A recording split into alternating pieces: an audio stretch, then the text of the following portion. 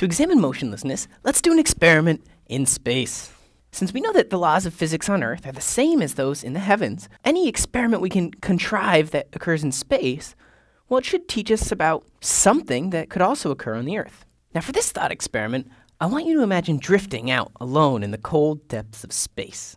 Actually, for this experiment, I want us to be so deep in space that we can't even see the stars, or the sun, or the Earth. We are truly floating in the middle of nowhere. Now, as far as we can tell, we are completely motionless. Now, let's say you turn on your flashlight, because every good scientist floating in the depths of space remembers to bring their flashlight.